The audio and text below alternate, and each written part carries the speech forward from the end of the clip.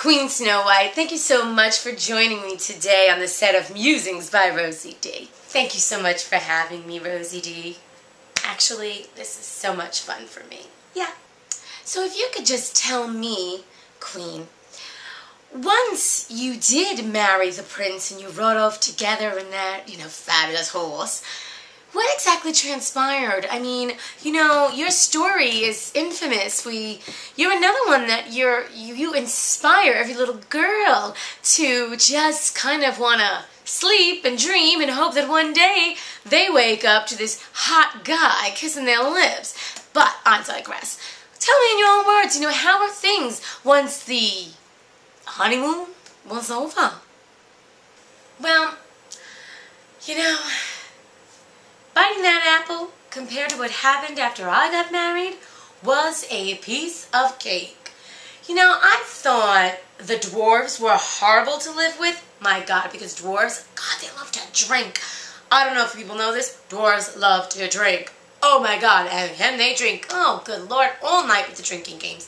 But anyway, love to drink. They were nasty little bastards, and they really had an evil streak in them. Horrible. So I thought, like, once the prince kissed me, it was going to be hunky-dory. Here I had this hot dude in great shape. We were just going to, we rode off into the sunset, lived in that big fat castle, and my life was going to be just fabulous.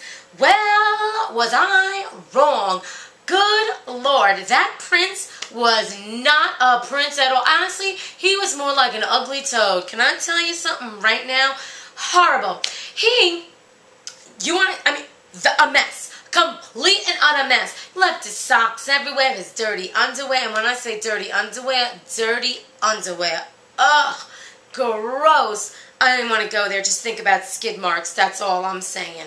And he just had absolutely no manners. I mean, he would just burp and fart at the dinner table constantly. And here I would actually cook all day, you know, be so happy to serve my princey prince prince. And what would I get in return? Oh, good Lord. And then the sex? Ugh. Honey, you know what? If I were a mission, maybe the missionary position would have been enough. So all I'm saying, it's not, okay?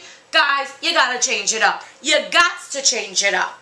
But anyway, that's where the dwarves actually are so much better. Oh, I'm jumping ahead of myself, aren't I? So basically what happened with the prince was, I couldn't take it anymore. He was driving me nuts. He just was disgusting and dirty, and though he kept his body in top-notch shape, the guy was such a narcissist. Of course he's kept his body so wonderful, and like I said, the sex was terrible. So I basically kicked him out of the castle, invited the dwarves in, and now the dwarves and I have an orgy of fun. And when I say orgy of fun, I mean orgy.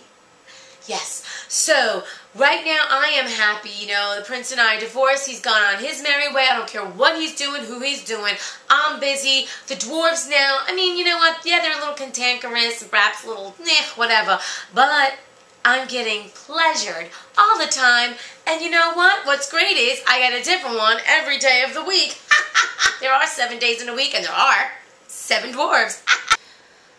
so, as I asked Cindy earlier, Queen, what advice do you have for the little girls out there, the millions of little girls, or the millions of single women like myself, very single women, you know what I'm saying? Hello about, you know, these fairy tales, these dreams, and your marriage and your experience.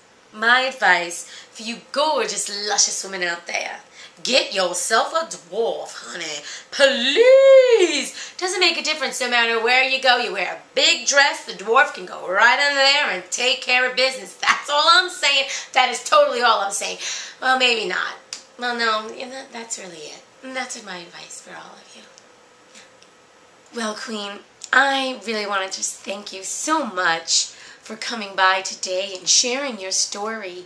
And, you know, I really appreciate your, actually, your, your honesty, but it's brutal honesty. Um, I do appreciate it. And, you know what? I wish you the best of luck. I mean, you know, you're back with the dwarves. It seems like it's a great situation for all of you. So, mazel tov. Good luck. Send them my best and you stay well, Queen.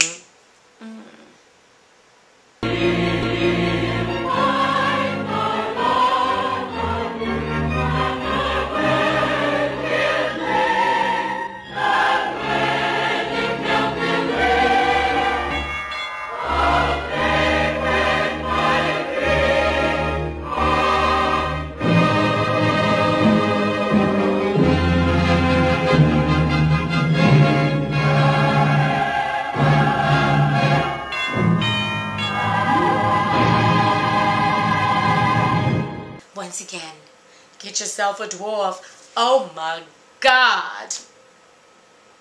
Oh yeah, BTW? I gotta tell ya, Dopey ain't so dopey.